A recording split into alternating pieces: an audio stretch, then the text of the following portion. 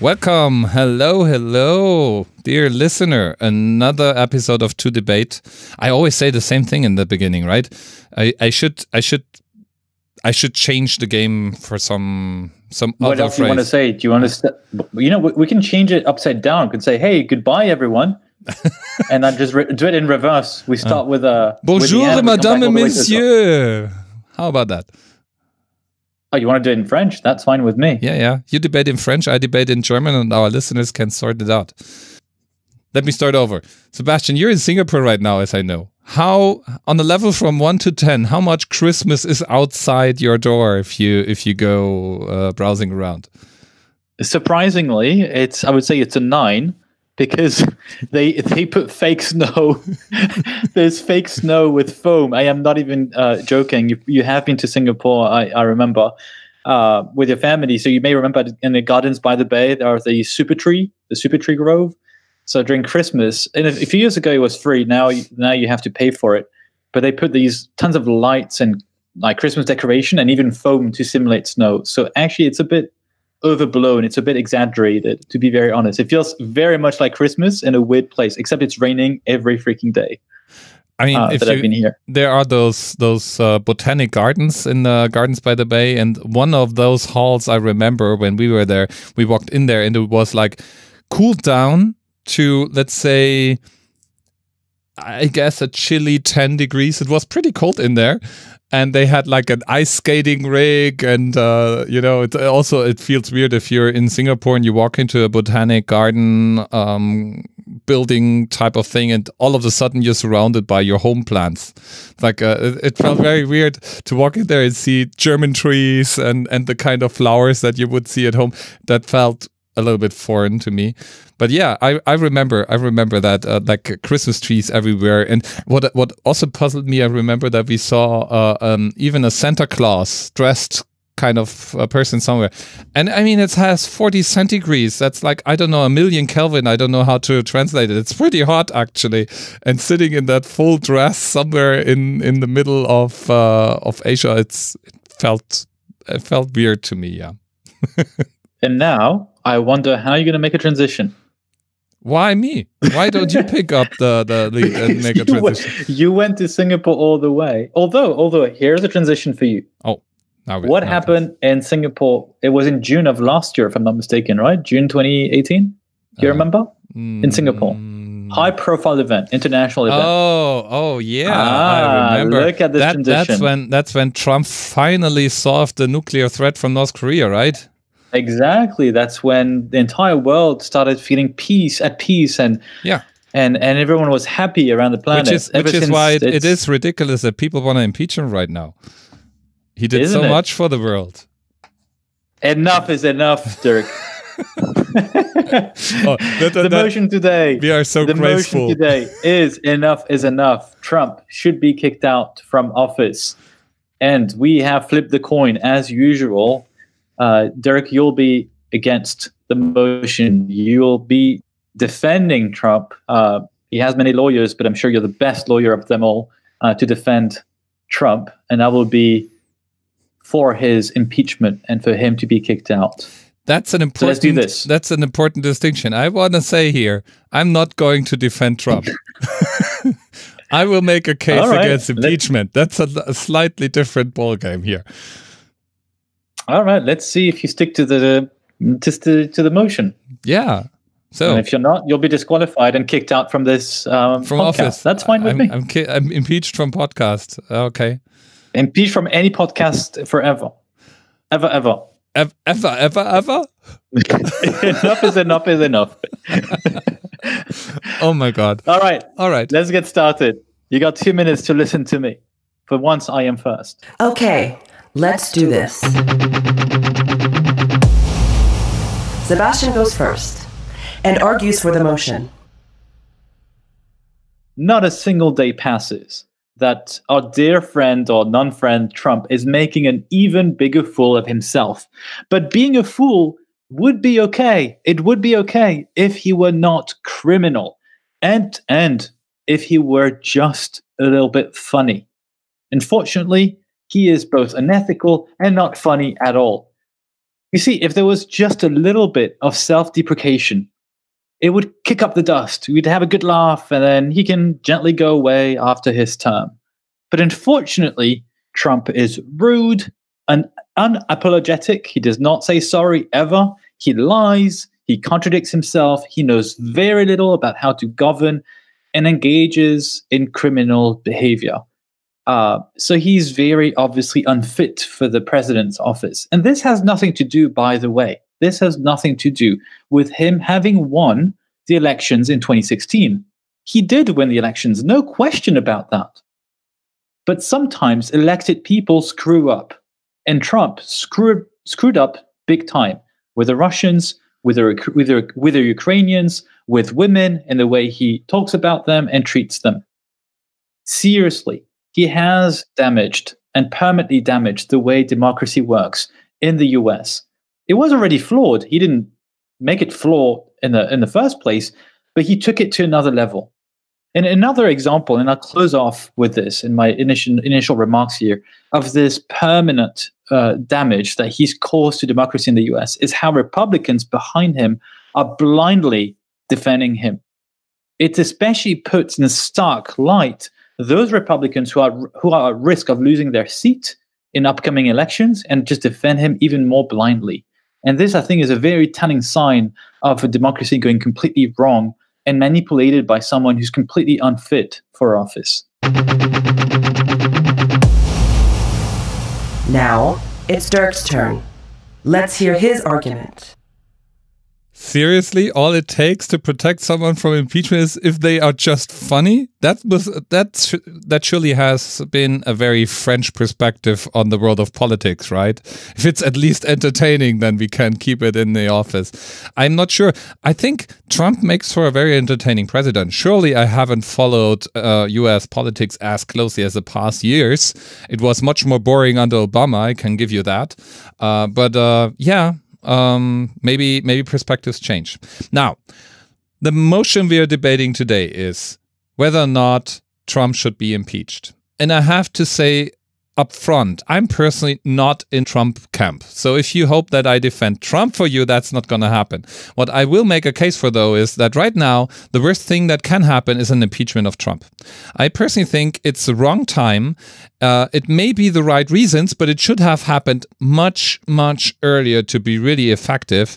And uh, my main main argument here is going to be what happens if uh, they impeach Trump and he gets elected like three months later? What will that do to the tool of impeachment? What will that do to the entire process? What will that do to an already unleashed president?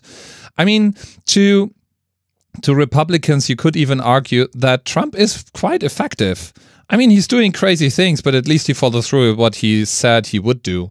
So overall, I don't think that uh, the the board is undivided. There are people that claim that Trump is an effective president, that the kind of things he does, other presidents have done as well, just not as open and as blunt as he was doing it. But well, they did it nonetheless. Uh, many people don't uh, understand the intricate discussions around influencing foreign governments and election meddling and all that anyway, and don't care, frankly. Who cares in the US about uh, the Ukraine to start with?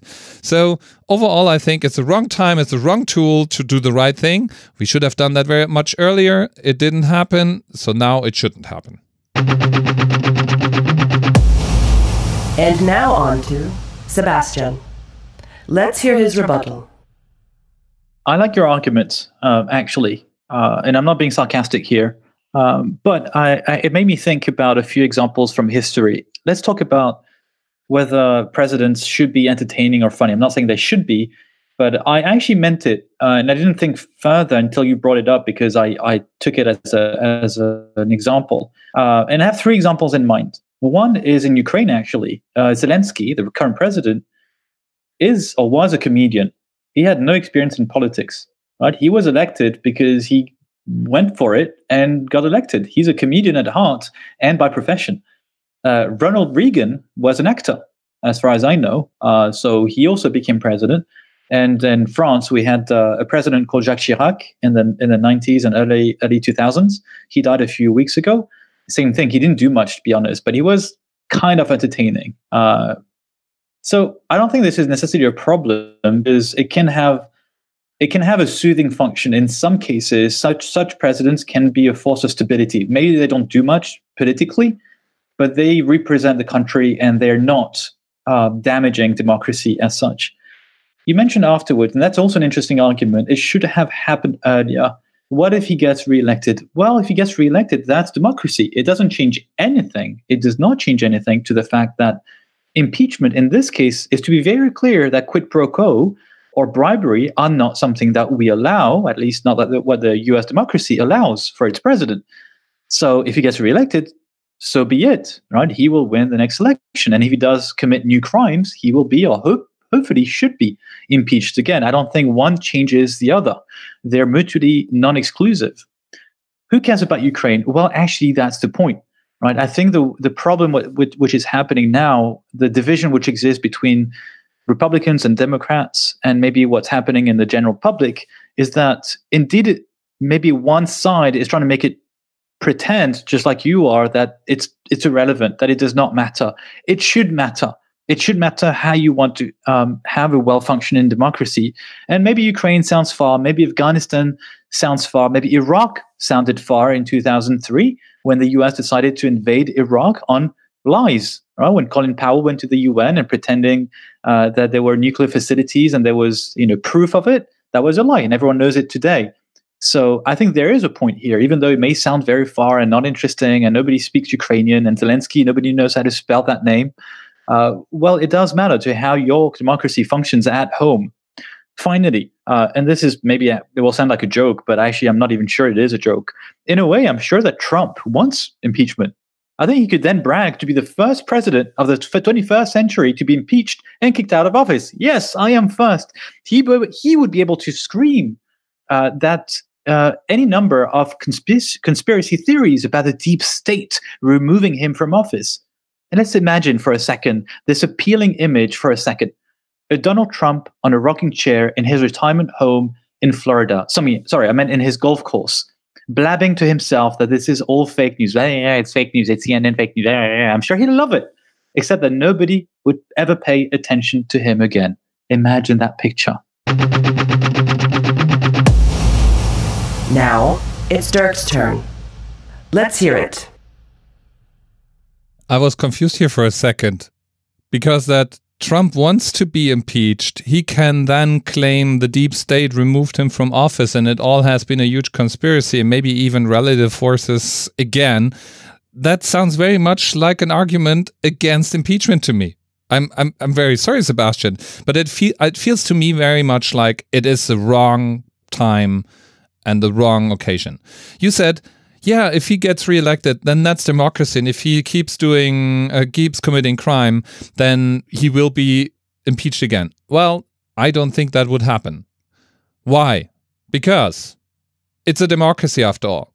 If he gets impeached now and then reelected, in a sense, the electorate would then have decided with a ballot that they don't care about Trump committing those crimes. And therefore, impeachment wouldn't happen a second time.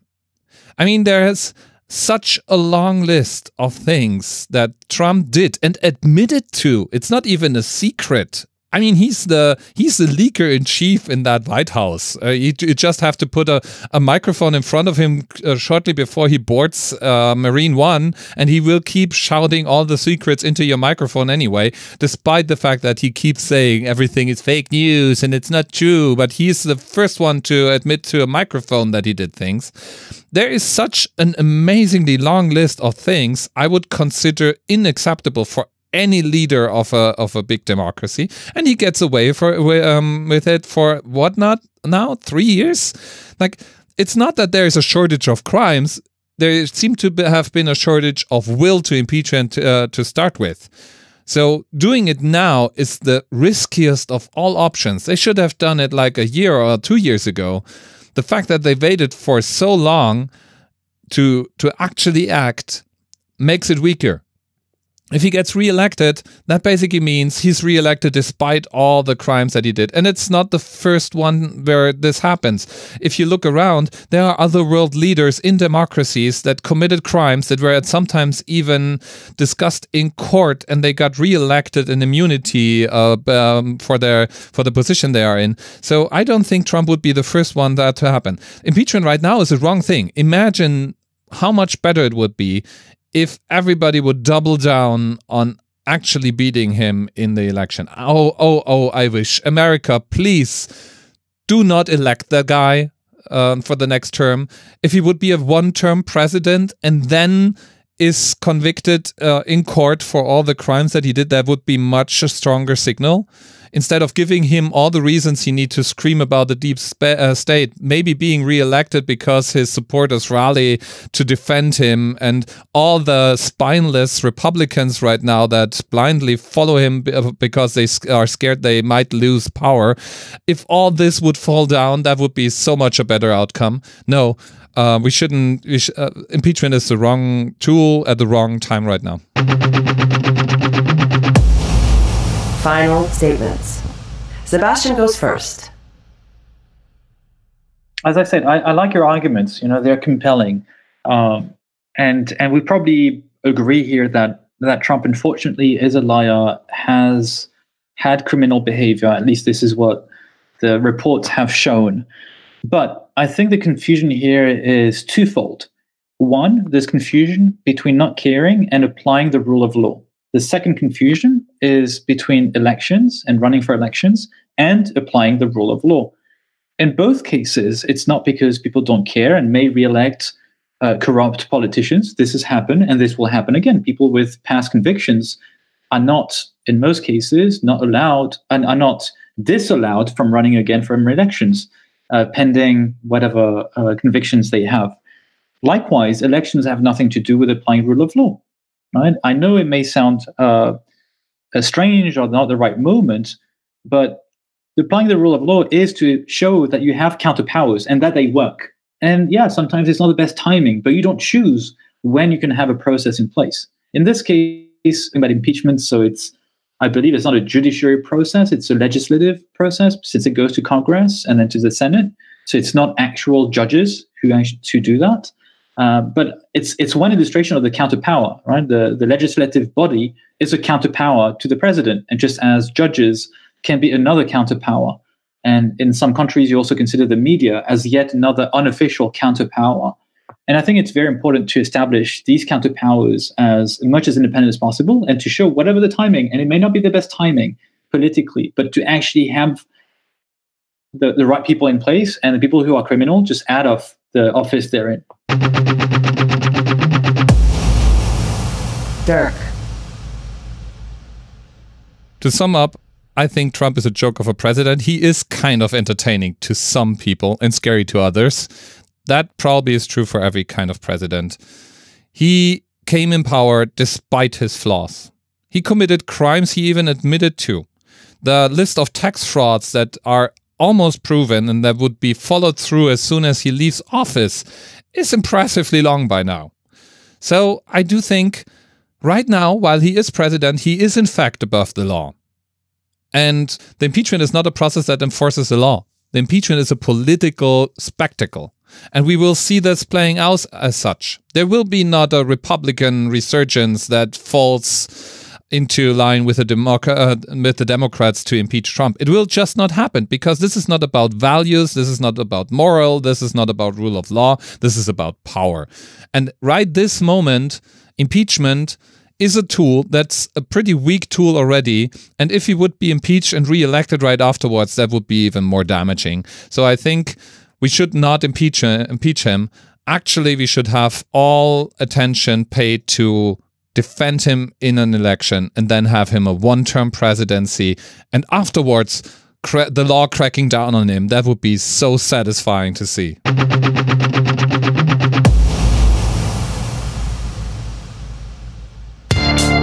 That's it. Thanks for the debate. Uh, interesting perspective. Uh, I did not expect you to adopt that stance, but I, I respect it because, as we've always try to do in our debates is to really defend something that we can believe in, that it's not going against you know our fundamental values.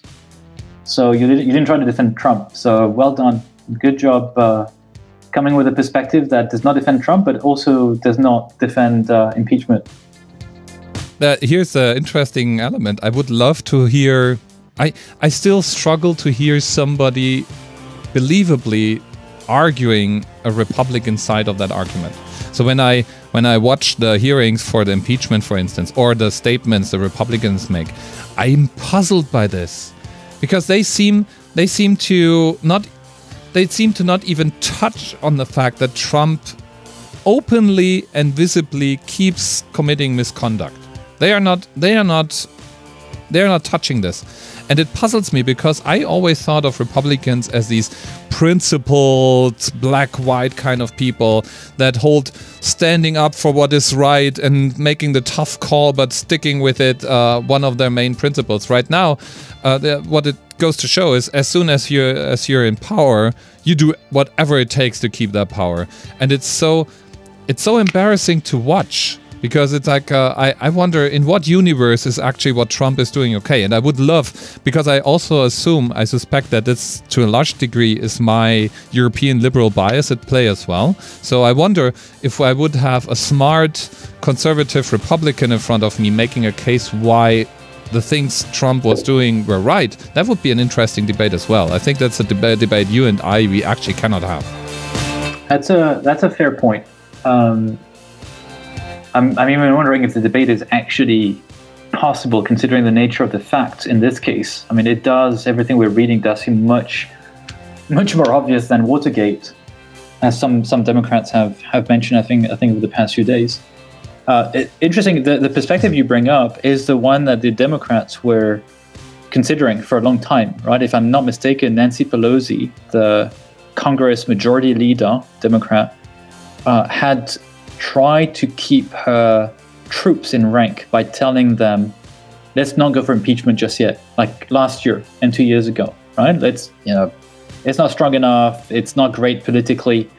So yeah, the debate was certainly going on, and they say, ah, "Oh, this time is just too much." But you have a good point, right? Politically, it may actually not serve anyone because it seems the public opinion is not really changing anything in terms of you know, like the mind's already set in terms of whether he's guilty or not, and it seems to be so polarized yet again that it seems to uh, defeat its purpose. Uh, I stick by what I said. I do think you know the rule of law is irrespective of the political agenda. It may be it may be a disaster uh, but respecting the law and trying to enforce it uh, and and try to do that irrespective of a political agenda, I think is is the morally good thing to do. It may not be the smart thing to do politically, but it's morally good to enforce it, even if it's like at the cost of losing the elections against Trump. Uh, I would say, hey, I'd rather go for four years again of yet again Trump, but actually stick to my principles and ho- and hoping that at some point the public will see it and say, you know what, yeah, we took a conscious risk. We realize it's not very popular. We know we're going to get defeated with the Senate. We probably we may lose the elections, although we're going to try everything to do to win them. But we stick by our principles. I'd love to hear something like this. I think that would be like very emotionally appealing. By the way, I think I that is basically. I, the I think it's basically the messaging of the Democrats, right? To be fair, um, I think at this point Nancy Pelosi had no choice, or the Democrats had no choice than to start impeachment. I mean, when do you start impeachment if not when you catch your president trying to get a foreign power to bring you everything you need to win your election at home? This is like uh, like there was no way not to impeach, so I give them that or not to start impeachment proceedings. I would just say maybe they should have started much earlier. I think the timing is very unfortunate. The timing is really bad.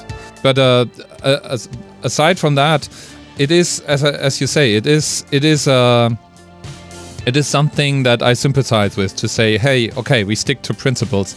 The question though is, and that's that's about impeachment in general. We've seen this playing out the other way around.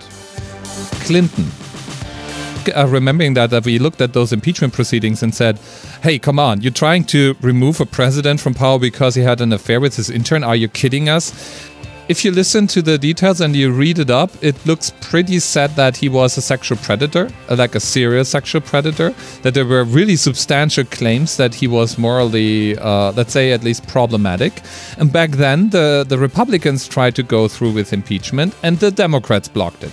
So the question that I have is: Is impeachment actually a tool worth anything at all? It feels like whoever is not in power is holding up that moral principle of doing what is right and uh, um, trying to prove the rule of law. And whoever is in power, well, gives a shit about the rule of law and the moral if uh, in order to stay in power. This is this is what we see playing out right now, and this is what we saw back then with Clinton. You could even go as far as say maybe Nixon was the one that actually had a, a, a, a rest of moral in him when he basically said, "I'm stepping back," because who knows if he would have been impeached. I, I mean, it's now our reading today that he was uh, he was about to be impeached, but who knows? Maybe he just did what was right, um, since he was like a, a, a lifelong public servant and uh, felt this debate is over, and he felt he lost the debate.